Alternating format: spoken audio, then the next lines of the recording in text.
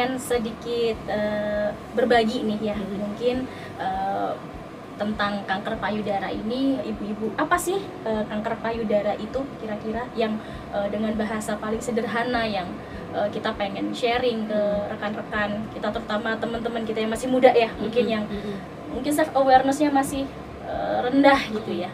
Silahkan mungkin ibu Muti ibu Lisa bisa menjelaskan silahkan oke okay. jadi kalau uh, tanya kanker payudara itu apa gitu ya. Uh, kanker payudara itu kalau bicara kanker pasti uh, identiknya dengan adanya tumor. Tumor yang ada di payudara kita. Nah tumor ini memang ada yang jinak ada yang ganas. Kalau yang ganas ini pasti yang namanya kanker itu pasti ganas gitu. Nah tumor ini uh, kenapa ada tumor? Karena dia terbentuk dari adanya ketidaknormalan sel-sel di tubuh kita yang kemudian terjadinya ada di area di bagian payudara. Sebenarnya ringkasnya gitu ya Lis ya? Di mana sebenarnya bisa ke uh, bagian tubuh yang bagian tubuh yang lain. iya, kalau terjadi di paru-paru ketidaknormalan yeah. sel di paru-paru jadinya kanker paru nah penyebabnya apa tadi? Mbak Riri yeah, tanya. nah uh, penyebabnya ini belum diketahui sampai sekarang. Jadi bukannya memang uh, kami yang belum menemukan referensinya tapi memang dunia medis sampai saat ini belum bisa men, apa mendeklar apa penyebab dari kanker payudara. Penyebab itu nggak ada tapi biasanya yang kita uh, bagikan informasinya adalah risiko-risiko tinggi uh, untuk terdiagnosis kanker payudara lebih ke meminimalisir ya uh, resiko itu seperti apa dengan uh, berbagai macam hal lah pasti ya, ya rangkaian ya. aktivitas apa pun Betul. yang bisa kita lakukan untuk meminimalisasi si resiko, resiko itu, itu gitu ya ibu ya. Uh, dengan kita tahu risikonya kan kita jadi bisa lebih aware ya, ya betul. betul. Uh, pengen tahu juga nih uh, tentunya kan nggak pengen nggak pernah ada yang mau ya uh, dapat uh, berita yang mengagetkan ini gitu ya hmm. yang bisa memporak-porandakan kehidupan seseorang dan keluarganya gitu. Hmm. Nah, kira-kira uh, kalau dari ibu-ibu ini apa sih yang kira-kira harus kita lakukan hmm. saat kita didiagnosis itu hmm. apa yang harus kita persiapkan untuk diri kita sendiri dan untuk keluarga kita hmm. baik uh, saya berbicara uh, berdasarkan pengalaman saya ya mbak ya jadi uh, menurut saya saat kita terdiagnosa kanker payudara pertama tentu saja adalah uh, kesiapan diri kita sendiri ya. Tapi kita nggak bisa siap kalau keluarga kita support group kita juga nggak siap.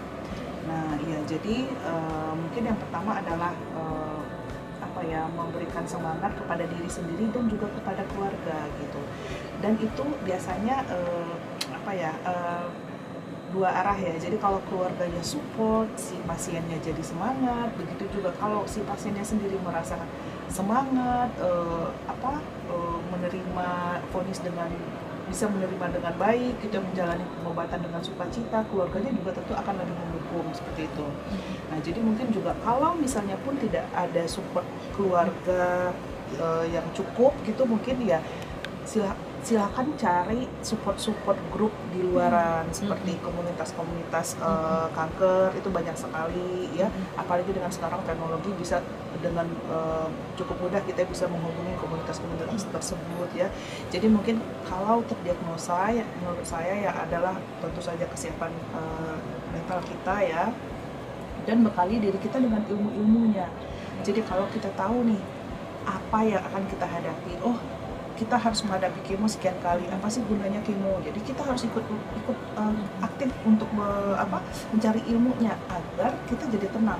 Ketika dokter uh, sampaikan nanti habis ini ibu harus radiasi kita jadi tahu oh radiasi itu gunanya ini. Jadi kita ketika datang ke rumah sakit untuk menjalani pengobatan tersebut kita sudah tahu nih dan biasanya itu akan lebih mudah untuk menjalaninya kalau tubuh kita itu juga menerima gitu.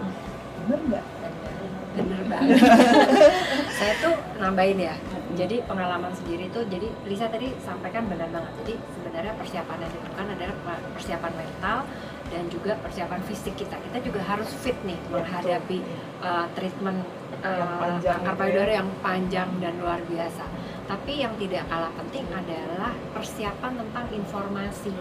Itu saya ngalamin banget waktu baru di diagnosa itu. Kita belum, saya tuh belum tahu baik. Saya tahu kanker, ya, tapi saya nggak tahu apa yang terjadi kalau uh, apa seseorang terdiagnosis kanker payudara. Oh ternyata payudaranya harus diangkat. Kita sebagai perempuan membayangkan payudara nggak ada ini kan ya dulu Iya, itu tuh benar-benar uh, pasti shocking. Tapi pada saat itu saya dapat informasi yang cukup lengkap. Dokter tuh menjelaskan, uh, dijelasin nanti kondisi payudara kamu sekarang saat ini, kalau nanti sudah diambil kondisinya seperti ini. Dikasih fotonya, itu kan informasi buat Iya, kita. betul. Jadi oh kita nggak membayangkan dengan bayangan kita sendiri, tapi ini udah ada bentuknya kan seperti ini. Dan juga nanti kamu akan bisa dioperasi eh, apa estetis payudara palsu atau kalau nggak mau pakai bra khusus. Iya. Oh bra khusus seperti apa?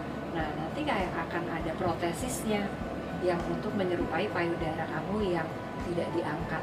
Jadi kondisi penampakannya juga tetap menjadi normal. Itu nggak terpikir sama saya, tapi begitu dapat informasi itu tenang. Kayaknya satu masalah cek solve gitu. Ya buat kita sebagai perempuan kan ngebayangin biar bagaimanapun ya, tetap itu jadi hal yang penting. Jadi uh, hal yang tadi bisa sebutkan tuh penting banget dan informasi itu belum tentu juga mungkin dokter punya kesempatan untuk menyampaikan. Yang Jadi pe- penting yang tadi uh, Nisa sampaikan kita untuk juga misalnya ada support grupnya, ada teman.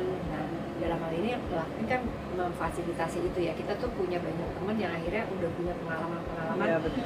yang juga panjang, udah ngalamin duluan. Kita yang baru mulai bisa tanya, bisa dan yang penting juga bisa saling menyemangati. Eh, setuju sekali ya bu kalau kita memang mesti mempersiapkan diri bukan untuk sakitnya gitu ya bukan Benar. untuk kitanya bisa jadi Benar. untuk keluarga kita Iya betul. cuman eh, sering kali yang terjadi itu kita ada di masa pause di masa Hmm. yang nggak ada energi sama sekali Hmm. untuk untuk mencari informasi untuk nggak Iya. punya energi untuk jangankan mencari informasi untuk memastikan bahwa kita mampu saja kita nggak punya energi untuk itu ya bu apalagi mungkin eh, pada awal-awal diagnosa kemudian terutama bagaimana saat kita harus menyampaikan itu kepada orang terkasih ya Hmm. kepada suami, bapak, ibu, anak-anak itu sangat berat sekali gitu. Nah, eh, apakah mungkin eh, teman-teman di Loving juga mungkin salah satunya apakah itu juga menjadi salah satu sarana gitu ya untuk bisa membantu teman-teman survivor ini untuk menghadapi situasi itu. Karena sometimes kalau yang saya eh, ya saya dengar cerita dari beberapa orang hal itu yang sangat mungkin membuat mereka tidak nyaman dan dihindari. Karena mereka takut reaksi keluarganya apakah reaksinya itu akan kalau mendukung sih mungkin pasti mendukung ya bapak ibu ya. Cuma mungkin lebih ke mereka sulit menghadapi eh, perasaannya sendiri faktanya. Mereka takut untuk ditinggalkan mungkin mereka takut untuk dikucilkan gitu. Nah eh, apakah mungkin Loving bisa membantu hal-hal seperti itu selain eh, mendampingi pada saat penyuluhan dan lain sebagainya? Karena kadang tuh ngomong sama anak-anak itu sulit sekali ya. Iya, Kalau iya, ngomong betul. sama orang dewasa mungkin masih Iya, bisa memahami ya, Bu. Oh, resikonya begini. Nantinya keadaan mama mama tuh begini gitu benar, ya. itu. Dan itu kejadian banget Mbak Riri eh, oleh teman saya sendiri. Hmm. Jadi sampai selesai operasi itu anak kedua anaknya nggak tahu bahwa mamanya terkena kanker payudara. Ya, jadi setiap dia kemo ada aja oh asam Alasan lambung ya. lagi naik Hmm. seperti itu. Karena sulit sekali bagi dia untuk memberi kabar itu ke anaknya. Takut anaknya jadi kepikiran karena Hmm. lagi sekolah dan pertimbangan lain. Jadi memang kalau dari Lofting sendiri betul kita ada namanya uh, program visitasi. Hmm. Jadi saat ada seorang wanita yang terdiagnosa kanker payudara, kemudian kita dapat info, kita akan melakukan visitasi kepada pasien tersebut. Dan biasanya kita bekali buku ya Mbak Iya. ya. Hmm. Nah kita Loping ada buku ya yang berisikan tentang pengalaman-pengalaman para survivor. Nah dengan berbagai macam latar belakang, usia gitu. Jadi biasanya kita bekali itu. uh, jadi dia bisa kasus ya. Iya, Ya. jadi dia bisa wah ternyata itu begini ya, wah ini ada yang anaknya oh, masih kecil, yang ini ada yang anaknya sudah menikah. Jadi dia setidaknya dia merasa Tidak "Ah, saya nggak sendiri." sendiri. Iya benar. Nah, rasa tidak sendiri itu memang harus ada ya Bu ya soalnya untuk me- menimbulkan eh, rasa kepercayaan dirinya itu bahwa saya bisa menghadapi ini Iya benar. Ketika mungkin uh, dia cerita ke ke keluarganya gitu, aduh badan saya sakit semua gitu. Dia mungkin akan merasa kemudian keluarganya akan bilang yang sabar ya. Nah, tapi mungkin dia nggak puas. Tapi ketika kita yang bilang bahwa kamu yang sabar, nanti oke memang sakit, tapi tiga hari kemudian kamu akan baikan gitu. Kamu akan merasa lebih baik. Nah itu biasanya lebih karena kan kita ber- berbicara berdasarkan pengalaman. uh, learn from the pro ya Nah itu biasanya langsung masuk tuh ke Iya, dalam benar-benar Nah, Iya. terus juga buat keluarga juga nggak gampang loh. betul sekali Buat si support system ini tuh Yes. nggak gampang menghadapi Iya. kita yang Iya. si pasien ini. Kadang-kadang kita dalam kondisi yang nggak enak kan kita malas ngomong. betul labil kadang-kadang Labil, ya kan? Terus senggol bacok. senggol bacot iya benar-benar Jadi mereka juga lebih sensitif gitu ya lebih sensitif. Hmm. Jadi kita juga nggak tahu sebagai keluarga kamu lagi rasain apa sih. Kita juga udah males ngomong gitu Iya, kan. betul sekali Nah, jadi memang penting juga untuk sebenarnya kita memberikan dukungan kepada support sistemnya itu mereka. yang saya maksud tadi Ya, nah Lovepink juga sudah ada. Ah, Lovepink keren. sekarang punya namanya Lovepink Caregiver. Jadi Ah. itu untuk mengedukasi udah kayak di luar ya Keren banget nih. Iya, Oke. jadi bukan kita menjadi caregiver ya, tapi Ya. ini menjadi satu komunitas untuk para support system. Ya.